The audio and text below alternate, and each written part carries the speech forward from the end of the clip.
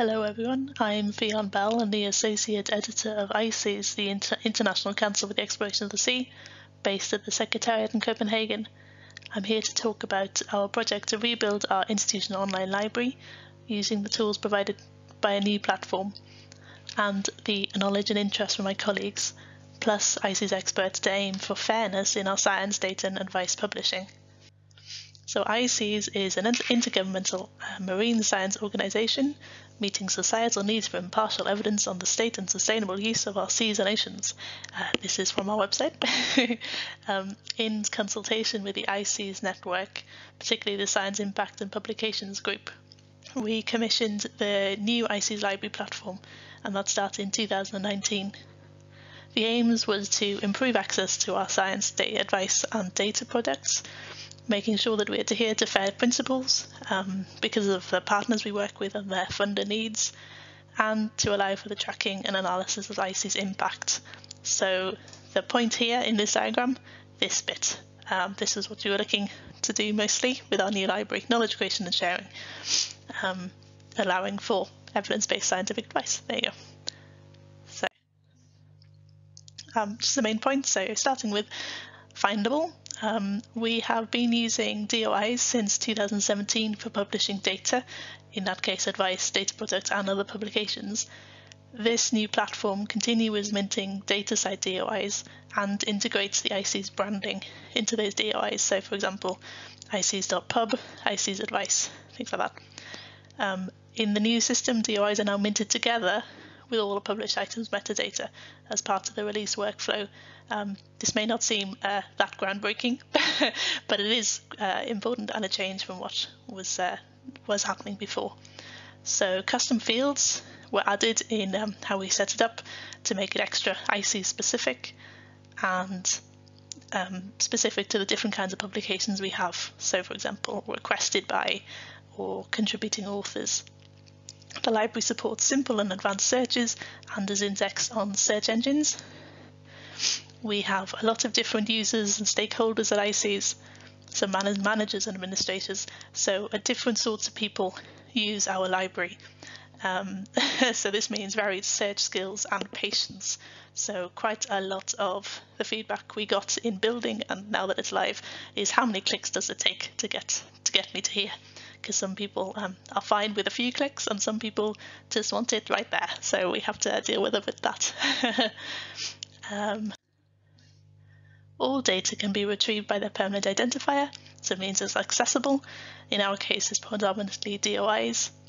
The portal is accessible here, so that's the URL. So it's Figshare is the platform that we use, and they have a very open API, um, so we can also retrieve records in that way. We have uh, platform storage through them.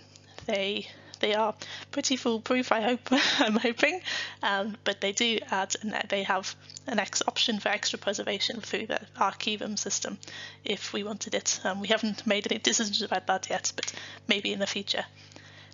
Um, what we come across is that since moving to the new platform in early 2022, there's lots of legacy documents around the internet with links to our old library.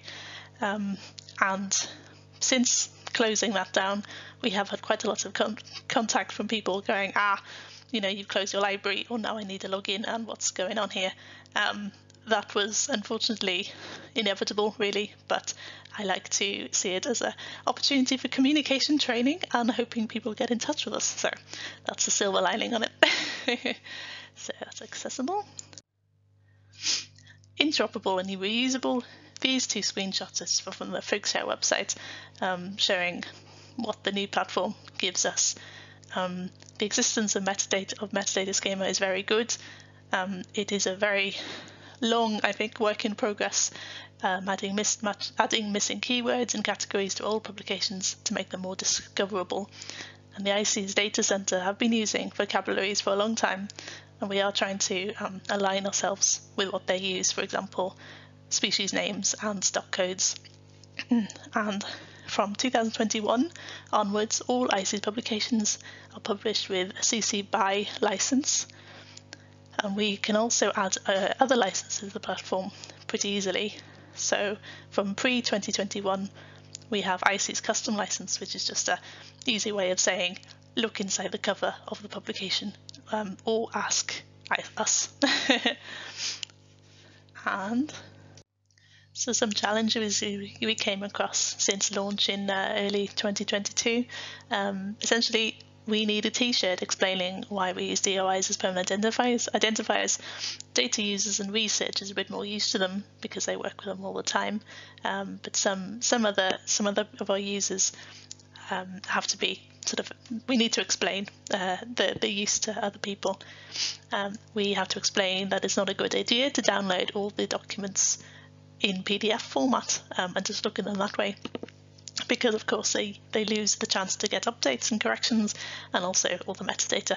Um, yeah, we luckily the platform makes it a bit hard to do that actually in bulk, so it makes it a good opportunity just to explain. Um, we say that we're sorry you can't find it quite often because the ICES is a very very old institution from 1898, um, so it is a very complex complex uh, project.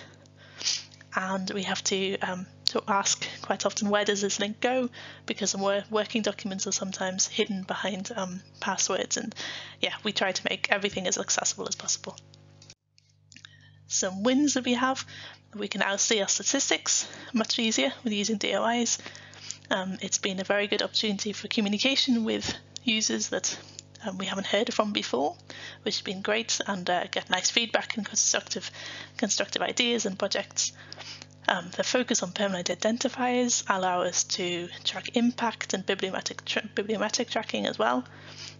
And just personally, um, for my colleagues and I, has been a really good chance for personal learning and skills building um, and really getting to grips with FAIR concepts in a practice in the workplace.